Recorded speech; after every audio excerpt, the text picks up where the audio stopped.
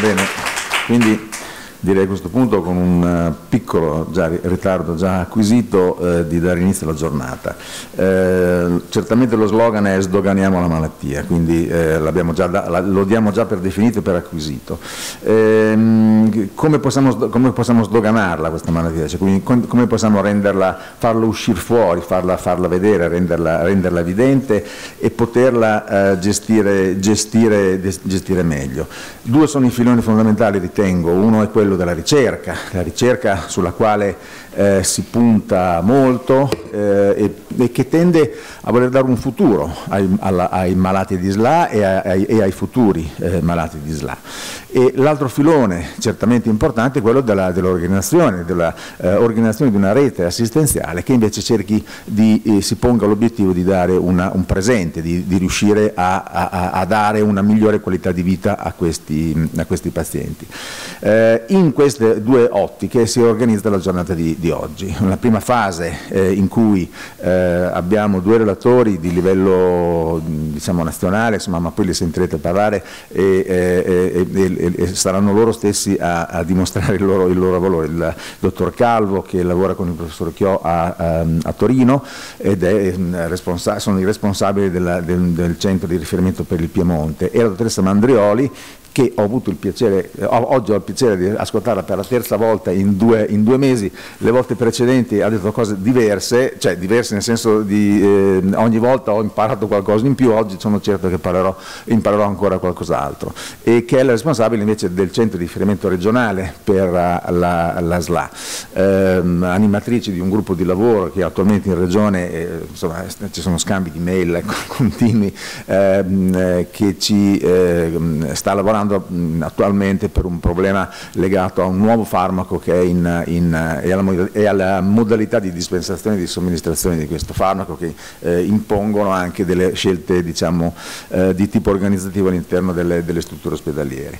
Comunque eh, io darei, non, non, chiacchiero più, eh, darei la parola al dottor Calvo che ci parlerà della storia della clinica, ehm, situazioni eh, estremamente eh, importanti ed in evoluzione con una epidemiologia tecnologia che è un po' in, in, in movimento rispetto alla, alla malattia. Vieni qua.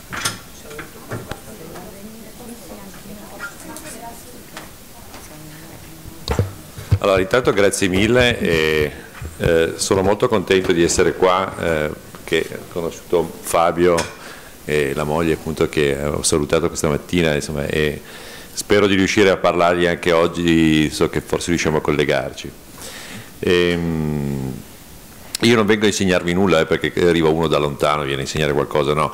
Io vengo a raccontarvi un po' di cose eh, che riguardano, il mio compito è quello di spiegare un po' la malattia, cioè di introdurla dal punto di vista di che cos'è, eh, diciamo con, cercando di dare un po' quelle che sono le novità eh, rispetto alle conoscenze sulla malattia Diciamo che le cose stanno cambiando, anche come noi consideriamo quella che chiamiamo sclerosi laterale amiotrofica e eh, sicuramente, ah no, sbagliato, scusatemi, ok, sicuramente, sì vado giù, ah, ah, con questo, ok.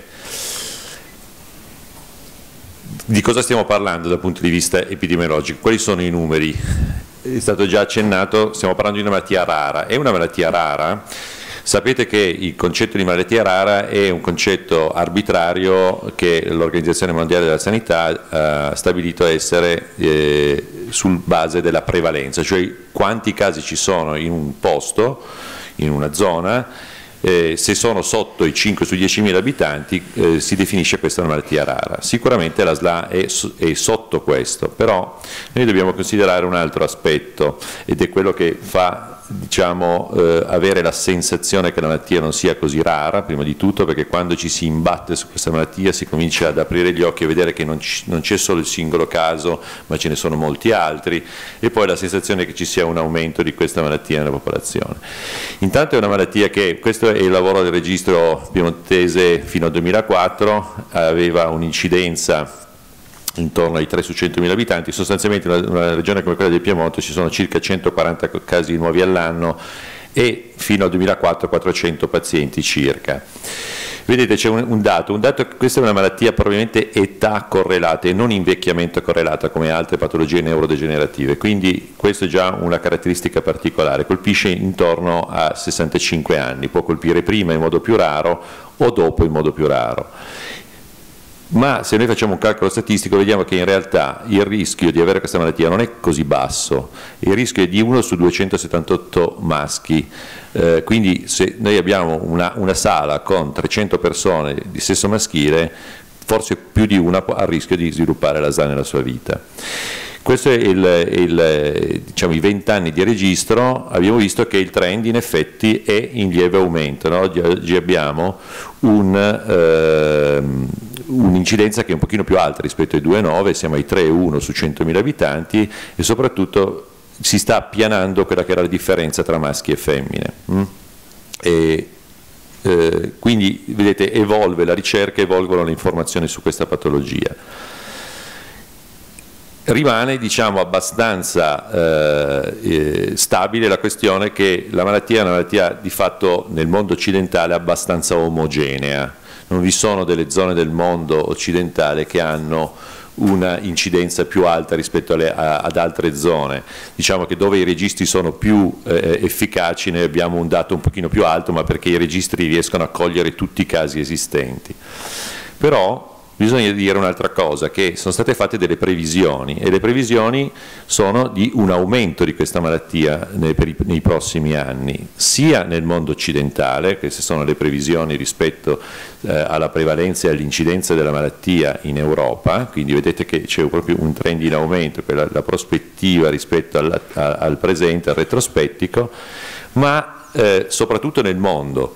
Nel mondo noi abbiamo una previsione rispetto ai dati che eh, si, si, hanno e che si prevedono rispetto anche all'aspettativa di vita del mondo non occidentale, cioè quello che è il mondo in, in, in sviluppo, quindi paesi in via di sviluppo, una previsione di un aumento importante della patologia. Nel 2040 avremo veramente quasi il 50% di malati in più nel mondo. Quindi questa è già un'informazione importante. L'altro cambiamento di visione della patologia è rispetto alla definizione. Noi e voi, tutti quanti quelli che si occupano di questa patologia, si accorgono di quanto sia variabile. È variabile come esordio, è variabile come forma, è variabile come decorso. Oh mamma mia, ma quel paziente è durato così poco, quell'altro invece è ancora vivo e sta bene. La malattia si definisce, secondo quello che c'è scritto sui libri, come una malattia abbastanza semplice. In realtà è la malattia del primo e del secondo motoneurone, eh, il primo motoneurone è quello che parte dalla corteccia motoria e il secondo è quella che parte o dai nuclei dei nervi cranici o, o dalle corna anteriori del midollo e va direttamente ai muscoli. È una malattia relativamente semplice secondo la definizione base, che è quella un po' che nasce dalla storia. E la storia qual è? La storia è questa la storia già nasce come una malattia che non era univoca.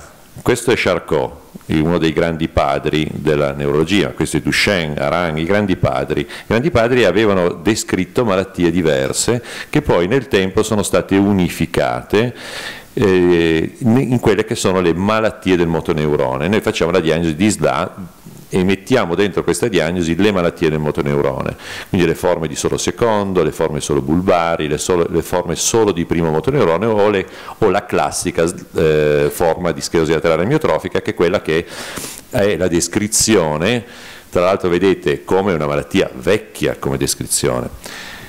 Ci, oggi stiamo sdoganando una malattia che conosciamo da 150 anni e eh, eh, la definizione di Charcot, tra l'altro, è una definizione molto precisa. Da Charcot sbagliò, solo, sbagliò tra virgolette, solo per due aspetti, l'aspetto genetico e l'aspetto cognitivo, che lui non colse allora.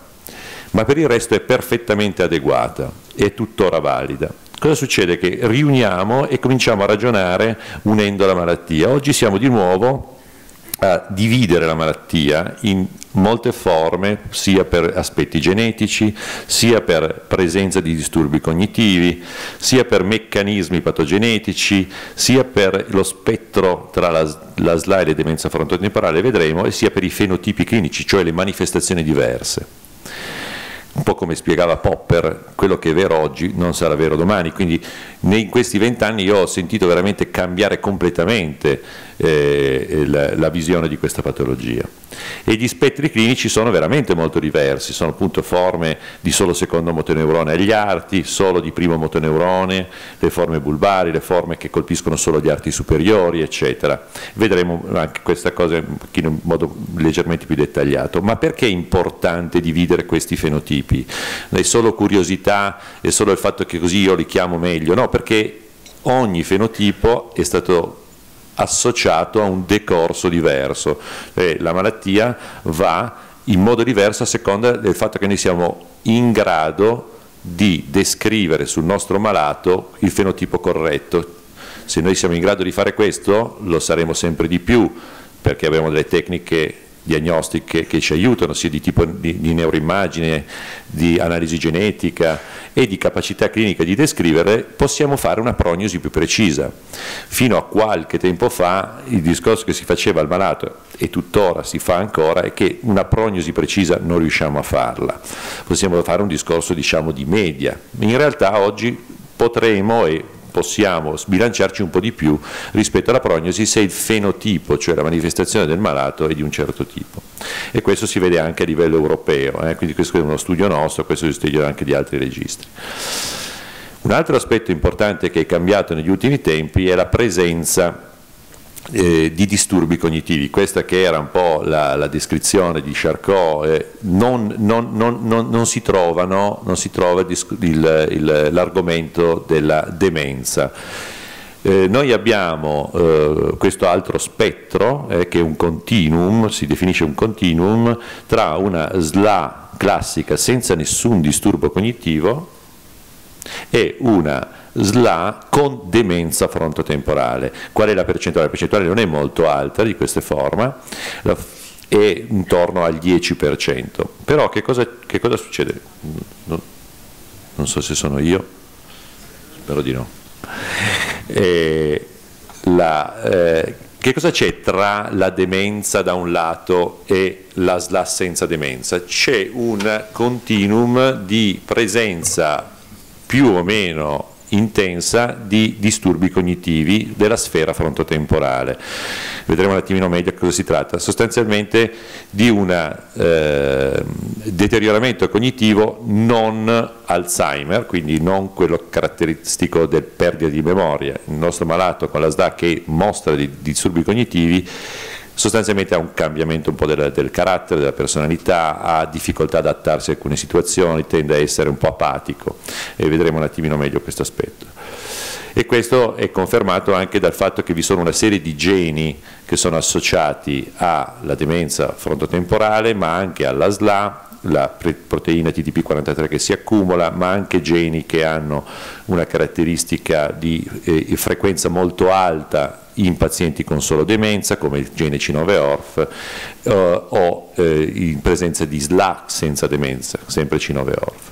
Vedete come se facciamo uno studio di, sempre di, di, di centro, di registro, possiamo dire che senza nessun disturbo cognitivo è solo il 50% dei nostri malati, che ha la demenza solo il 12, ma poi vi sono una serie di altre, eh, di altre, caratteristiche di pazienti che se noi andiamo a indagare con una serie di test riusciamo a tirare fuori. Anche qui è solo curiosità, è solo qualcosa che ha un impatto rispetto alla ricerca oppure ha un'utilità?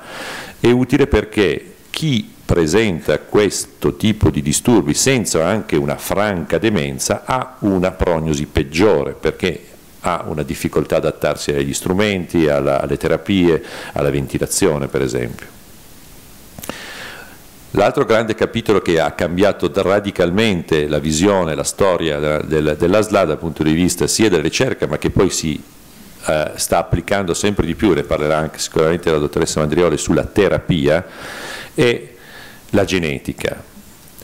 Charcot non aveva colto l'aspetto genetico, questi sono 100 malati, di questi 100 malati questi blu sono le forme sporadiche, cioè quelle che non hanno una familiarità.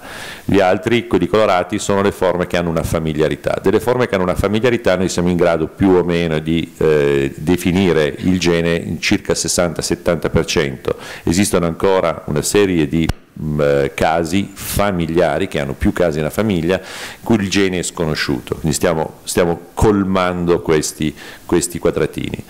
Molti però anche dei, dei, dei, casi sporadici possono presentare una mutazione che non era nota nella famiglia senza familiarità, è molto meno, meno probabile. Certamente quindi vi sono delle forme puramente genetiche, ma quello che diciamo, eh, riguarda probabilmente la maggior parte dei malati è l'interazione, tra la genetica e l'ambiente o l'interazione tra geni, di questo ne parlerà sicuramente anche eh, Jessica. Vedete, questo è, le, le, è, un diagramma, senza che non si legge sicuramente, che fa vedere l'espansione della ricerca genetica in questa patologia ed è abbastanza analoga a quella di altre patologie neurologiche. Vedete come eh, nel 1993 eh, viene identificato il primo gene, il gene eh, associato a forme familiari, che è il gene della superossido dismutasi 1, la SOD. Da qui in poi c'è stato un po' di, di, di difficoltà fino al 2006-2007, da qui c'è stata una crescita esponenziale di geni scoperti associati alla patologia. Questo chiaramente ha un'implicazione sia di conoscenze dei meccanismi che portano alla morte del motoneurone, sia eventualmente terapeutici. Questa è una diapositiva che farà vedere anche Jessica, eh, ci, fa, ci fa poi cercare di capire come mai così tanti geni diversi portano a una stessa malattia dal punto di vista fenotipico, di prognosi, di decorso. C'è un'interazione tra questi geni, il lavoro che si, farà, si, farà in questi dieci anni sarà proprio quello di mettere insieme tutte queste informazioni per poter capire qual è l'interazione tra i vari geni e qui parliamo di DNA, e poi tutto quello che è l'interazione con l'RNA, cioè quello che è la trascrizione del gene che poi diventa pratico nella cellula.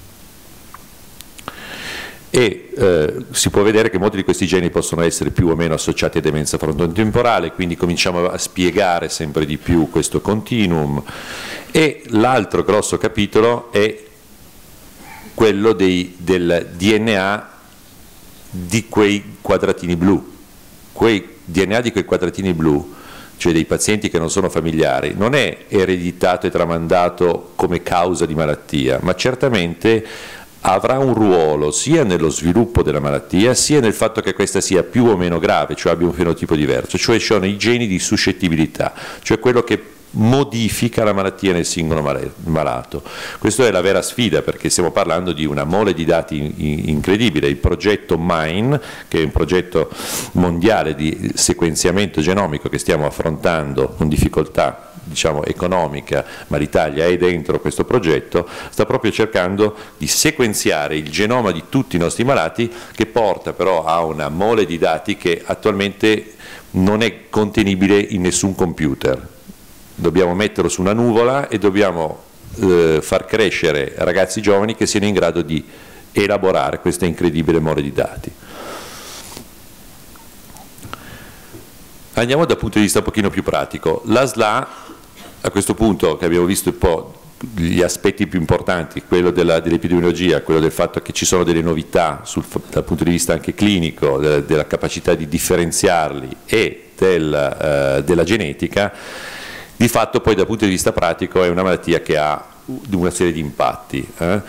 Che cosa colpisce? Colpisce una serie di funzioni e queste funzioni hanno, eh, sono le funzioni della motilità, della deglutizione, della fonazione della comunicazione, della respirazione. Oggi abbiamo aggiunto la cognitività e tutto in una imprevedibilità del decorso. Speriamo di ridurre sempre di più questa imprevedibilità grazie al fatto che riusciamo a definire meglio il fenotipo. Noi abbiamo ancora dei criteri diagnostici validi, che sono quelli di Erescorial, eh, si sta lavorando appunto a modificare questi criteri proprio sulla base del fatto che stiamo cambiando il concetto di una singola malattia, l'ASLA ha una sindrome e sotto questa sindrome ci sono diverse malattie.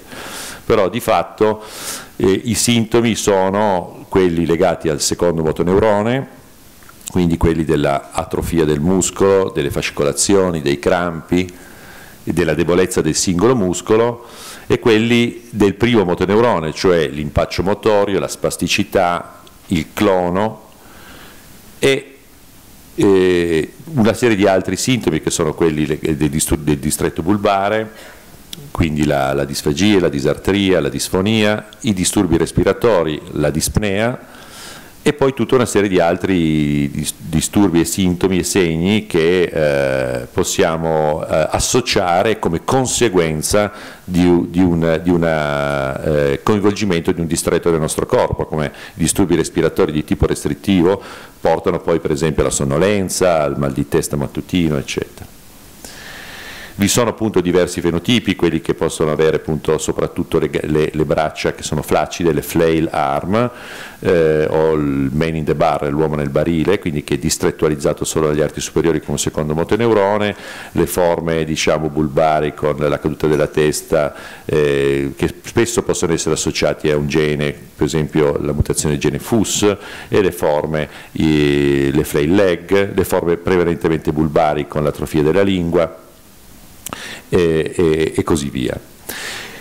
Mi soffermerei solo un secondo su quelle che sono le caratteristiche cliniche della demenza frontotemporale o dei disturbi della sfera frontotemporale, quindi non devono essere presenti tutti per forza, ma possono essere presenti in modo frusto, diciamo, che sono i disturbi del comportamento, quindi il declino dell'igiene, insomma l'inadeguatezza del paziente al contesto, al, il fatto di, essere, di, diventare un pochino rigido, un pochino ossessivo, un pochino perseverante eh, e non essere in grado appunto di adattarsi ad alcuni strumenti, quindi questa che è la sindrome disesecutiva, un'apatia, eh, quindi un disturbo dell'affettività che diventa appunto inadeguata o un, addirittura un eccesso di eh, euforia in, in contesti diciamo, depressivi o viceversa e i disturbi del linguaggio. L'esordio della malattia avviene in modo casuale, più o meno nel 30% dei casi agli arti superiori e agli arti inferiori al distretto bulbare, l'1-2% dei casi può esordire con l'interessamento dei muscoli respiratori e questo porta chiaramente a una difficoltà diagnostica, quante volte è successo purtroppo di fare una diagnosi col paziente già intubato perché il suo unico sintomo era una difficoltà respiratoria, poter eh, definire in pronto soccorso come sospetto che un paziente con un problema respiratorio senza nessun altro segno possa avere una SLA è molto difficile. Eh, andiamo avanti. Il decorso clinico. Il decorso clinico eh, è progressivo per definizione, è chiaro che cambia molto a seconda del fenotipo, però diciamo che noi possiamo definire una, una, una fase lieve, una fase media, una fase grave che però è molto diversa da seconda del fenotipo, perché io potrei avere una fase lieve con un problema a una mano oppure una fase lieve con un problema del fatto che mi scappa la S o la R nel momento in cui parlo e magari mi va un po' per attraverso l'acqua. E così come una, una fase intermedia in cui io parlo perfettamente ma non riesco più a utilizzare gli arti superiori superiori e quindi dobbiamo in qualche modo ehm, non generalizzare il, il, il, la definizione del, dello stadio della malattia, ma certamente siamo anche in un contesto burocratico che ci, ci, ci impone di stadiare la malattia, anche perché adesso esistono anche dei contributi ad hoc e quindi è un discorso che deve farci pensare alla variabilità di malattia. Perché noi abbiamo una progressione di questi sintomi? Questa è un'altra delle novità rivoluzionarie della nostra testa di ricercatori rispetto alla malattia. La malattia è una malattia che comincia in un distretto e poi tende a propagarsi per contiguità, cioè non, eh, anche se esistono dei casi che hanno un eh, esordio molto diciamo, distante eh, da, eh, da, un, da, un, segno all'altro, tendenzialmente la malattia tende o nel midollo o nel cervello a eh, avere un pro, una progressione per contiguità. Eh? E questo ha portato a delle ipotesi, e sono state fatte delle ipotesi di una malattia che è simile alle malattie prioniche eh, voi sapete che le malattie prioniche sono le malattie della mucca pazza, cioè le malattie delle eh, eh encefalopatie spongiformi, che sono delle malattie che so, hanno eh, eh un'alterazione di una proteina che quando cambia la sua conformazione e viene in contatto con una proteina vicina cambia la conformazione della proteina vicina e quindi per contiguità eh, propaga la malattia.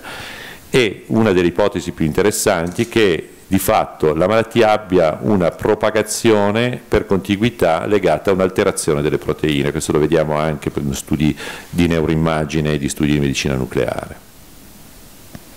Possiamo fare una prognosi oggi siamo un pochino più, più, capaci, ci sono dei fattori prognostici, l'età all'esordio, il fatto di essere seguiti da dei centri, il fatto di avere o meno delle turbe respiratorie, di disturbi cognitivi. Quindi noi oggi abbiamo analizzato e studiato una serie di fattori che ci aiutano nella pratica clinica ed è utile in effetti conoscere questi fattori. Abbiamo tutti questi fenotipi, però oggi ancora li mettiamo sotto il nome di SLA. Probabilmente nel prossimo futuro non molto lontano utilizzeremo degli altri nomi per definire in modo preciso queste forme. Sto finendo, la SLA è una malattia che per tutte queste caratteristiche che sembrano molto lontane dalla ricerca, da questi numeri fino poi alla pratica clinica, alla fine porta a delle scelte. E le scelte sono eh, legate anche allo stadio, allo stadio della malattia.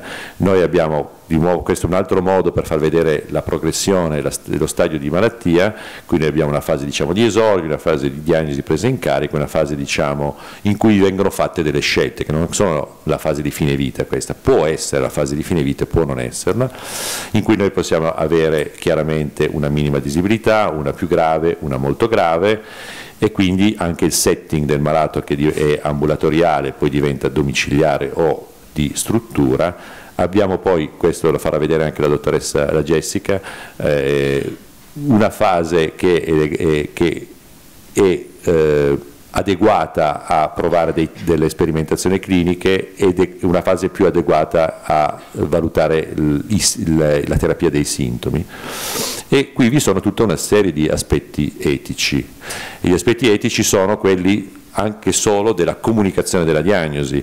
Esiste una letteratura importante su come, dove, quando eh, dare le notizie mh? Mm?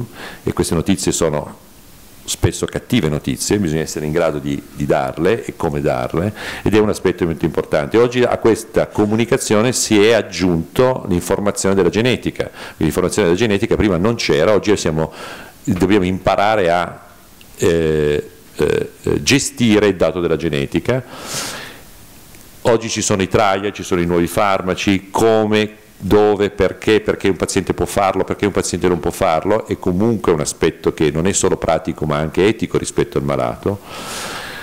Eh, le scelte terapeutiche rispetto a terapie alternative, come comportarsi rispetto al malato che dice io voglio fare quest'altra cosa, mi hanno raccontato quest'altra cosa ancora e poi ovviamente le scelte di fine vita, è stato approvato da pochissimo il testamento biologico, siamo in una fase in realtà legislativa che dal punto di vista però pratico, in realtà chi si occupa di questa malattia, Jessica me lo confermerà, non ci cambia nulla, nel senso che noi ci siamo sempre comportati esattamente nello stesso modo in cui ci si comporta ora con una legge un pochino più definita. Questa è una serie di collaborazioni che noi abbiamo, eh, vi lascio con un'immagine del Piemonte, del mio paese, che è Corteranzo, che vede il Monviso da dietro, ma qua è anche molto bello.